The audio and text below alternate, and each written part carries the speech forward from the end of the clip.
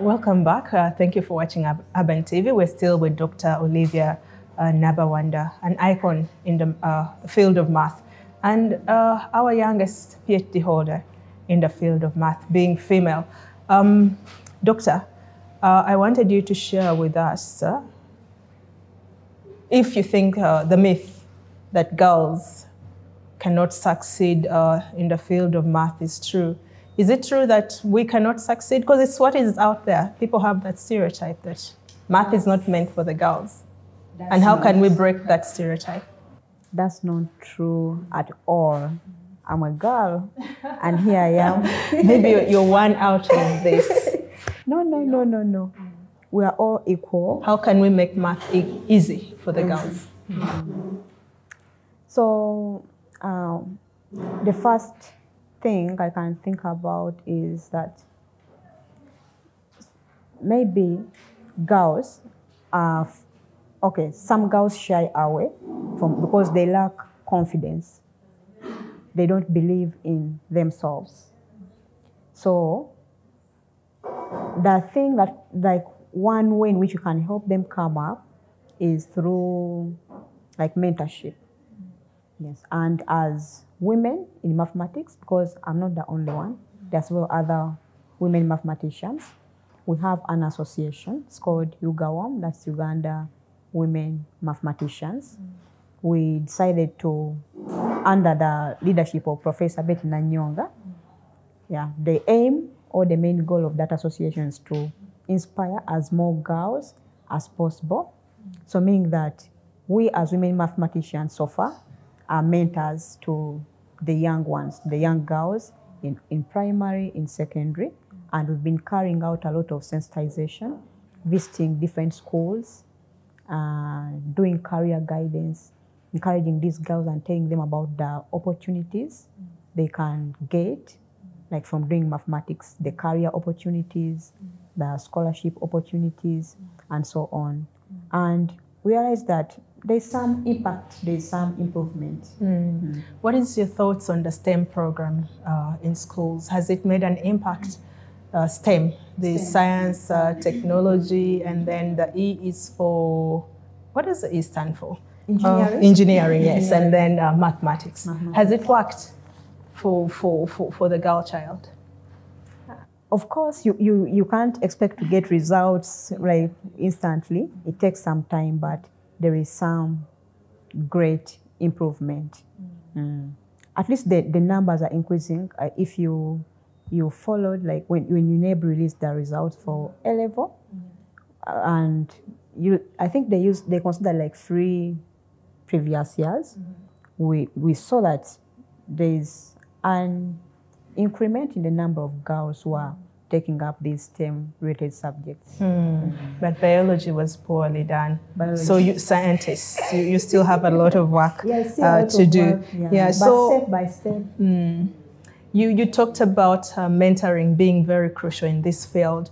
Who are some of those mathematicians who walked with you this journey and maybe have mentored you and ensured that you've actually you been successful in this field and you're going to, to still contribute so much in the field of mathematics in the country and beyond. Yeah. Names? Yeah, you could tell us some names. Okay. From home, my mom, mm-hmm. Jennifer Namakula Katerega, then my late dad, David Katerega, they, they were good mentors to me.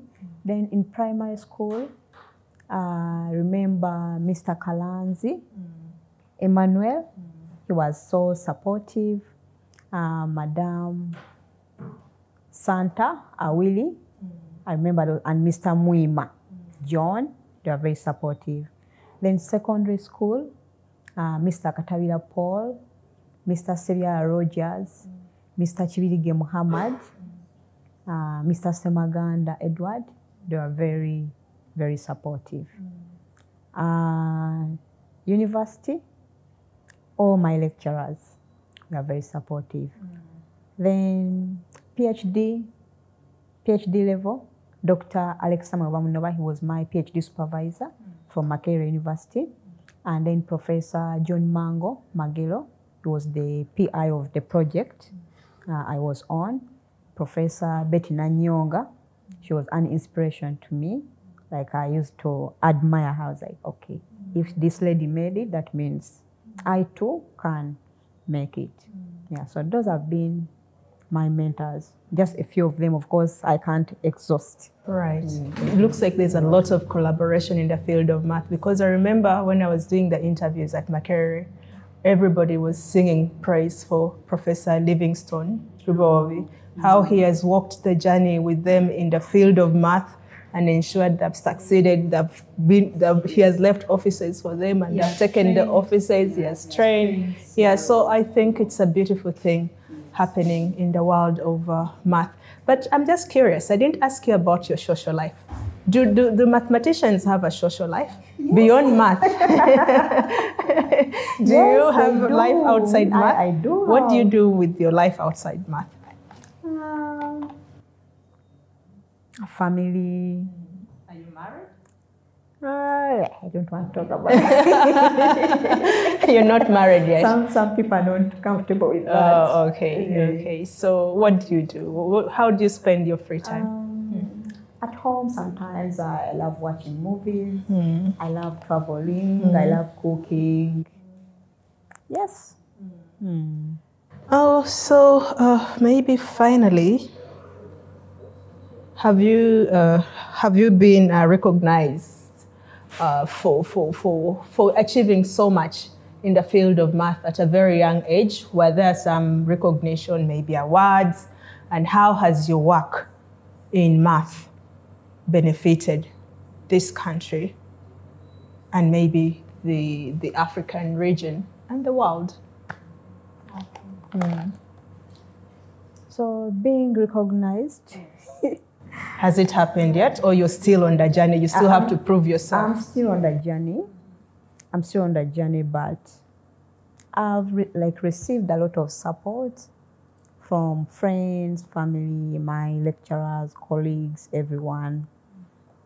And then sometimes when people like come to you and talk to you, you know, I saw you on such and such a day and I was so inspired. I want to be like you, like getting like like someone giving you those kind of compliments to me i think that's that's enough. I don't need so much. But still i'm just starting my career so i'm sure there are bigger things ahead. Mm. and how has my mathematics benefited this country? Since i'm just starting i'm just starting my career so i believe there are more projects coming and I'm very sure like more students are going to benefit. I'm more on the student side, yeah. mm. So I, I have plans of writing projects in the future, maybe projects which, uh, like projects where students can get like tuition to further their studies, and especially for the girls to go and do their masters, do their PhDs. I have those plans, and of course, I have mentors who will guide me through that. Yeah, so it's really my wish. But currently, what I'm focusing on is being like inspiring the young ones. Mm. You know, there are many students out there who have lost hope, mm. but when you go and maybe share with them your experience and tell them I came from such a background and here I am, like there are many who have been inspired, who have been impacted. And at the moment, like from the time I finished my PhD up to now, I've been like actively engaged in several mentorship programs. I've been invited to schools to give talks to students, to the girls, boys.